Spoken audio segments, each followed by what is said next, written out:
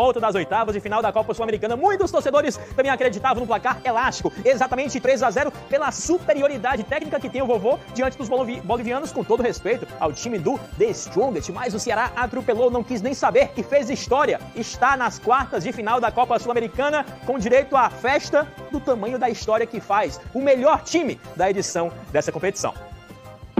Foto na frente do estádio para registrar um dia histórico. Algo especial merece então casa cheia. Alvinegros, alvinegros e mais alvinegros presentes. A gente gosta de dizer que a panela de pressão hoje vai estourar, né? Porque vai estar tá cheio de torcedor, cheio de preto e branco, de coração. A torcida do Ceará, todos sabemos, a torcida que chega junto, apoia realmente o time, né? E o momento é histórico. Foi o primeiro time a terminar a fase de grupos da Sul-Americana com 100% de aproveitamento. Primeira vez na história. Isso é, é histórico de qualquer forma. Tanto para o futebol sul-americano quanto pro nosso time. Essa galera toda foi acompanhar a decisão do primeiro mata-mata do vovô contra um time de fora do país. E vai dizer pro torcedor que tem vantagem, que não precisa nem ganhar para avançar. Nove empates no brasileiro não dá, né? Tem que, tem que chegar a vitória, que já faz tempo que não vem a vitória, né? E hoje vai ser o dia. 3x0 o Vozão hoje. 3x0 o Jumento já cantou a pedra, viu? Jumento do Vozão disse que era 3x0 hoje. Você acredita no bom futebol? Acredita? Acredito. Volta do Mendonça, Lima, Zé Roberto no ataque. A gente vai fazer 3x0 fácil hoje. O mais importante é fazer realmente um jogo de encher os olhos do torcedor e trazer essa tão sonhada classificação. O clima não tinha como ser outro. Confiança lá em cima, no time que passou por todos os adversários até aqui na competição.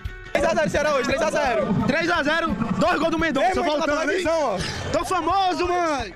Apoio gigante para demonstrar todo o carinho pelo clube do coração.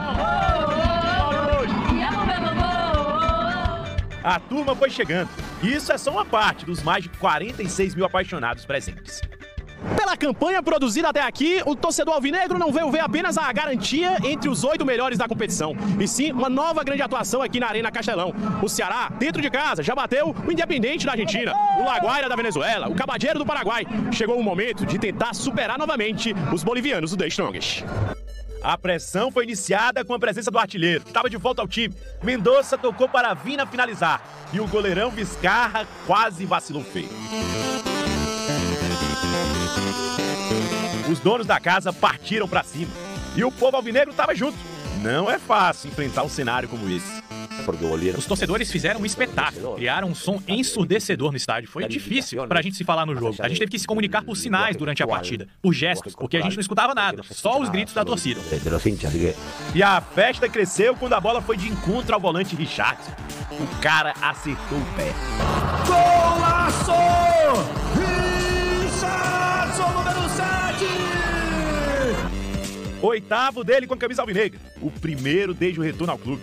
Dedicar aí pra minha família, pra minha esposa. Eu tô esperando mais um, mais um filho aí. Pra minha mãe, que me cobra toda hora pra estar tá chutando gol. Hoje me mandou um WhatsApp antes do jogo. Chuta no gol. Tá aí, dona Yolanda. Deu bom.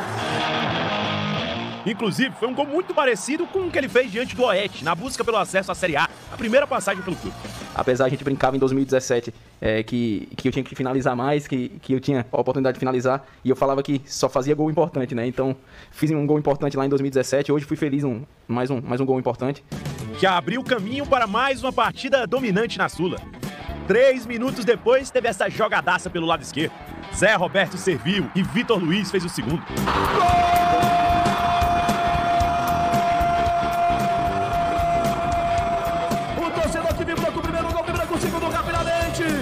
grupo como um todo tem crescido. Eu acho que voltaram-se os atletas que estavam fora, eh, voltaram os atletas que estavam com Covid, lesionados. Então isso faz com que o, essa competitividade interna, o, o Ceará ganhe. Ganha opções. O Ceará estava disposto a atropelar. Após a sobra, Vina bateu cruzado. E Mendonça mandou para as redes. Logo no retorno ao time, seria o terceiro antes mesmo dos 30 minutos de jogo. Só que o colombiano estava em posição de impedimento. O gol foi anulado após a revisão do VAR. Nada que tenha atrapalhado, até porque o ritmo do segundo tempo também seguiu forte. O torcedor pode ter certeza que esse grupo de homens, o qual veste a camisa do Ceará, independente dos 11 que iniciam, tem totais condições de, de, buscar algo grande nessa temporada e oferecer ao torcedor, que é isso que eles, eles têm trabalhado a cada dia, independente do resultado, mas a seriedade, o profissionalismo e a entrega deles é merecedor de algo grande ao longo da temporada. E a competência. Vitor Luiz tentou em uma das especialidades dele, mas quem aproveitou foi Lima no rebote. 3 a 0.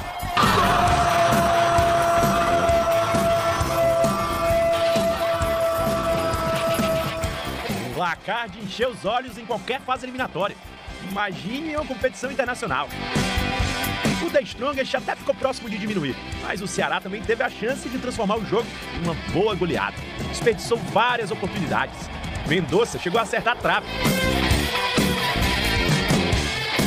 O importante é que o time voltou a vencer e também convencer dentro de campo. Todo mundo do lado alvinegro produziu muito bem ontem na Arena Castelão. Hoje, o que nós vimos da torcida foi algo impressionante desde a chegada. E ao final, ver essa comemoração nos motiva e nos incentiva ainda mais. Ceará classificado, dono de uma das vagas na fase quartas de final. E se o povo alvinegro acertou o placar, tá mais do que liberado. Continua sonhando. Vai seguir, vai seguir. Vai ser campeão invicto igual o Campeonato Nordestino. Ela tem que já se programar para comprar passagem pra Argentina. Eu ia pra Brasília, mas não vai ter. Vai ser na Argentina agora. O Jumento já cantou a pedra. É campeão da Sul-Americana, viu? Campeão da Sul-Americana, Vozão.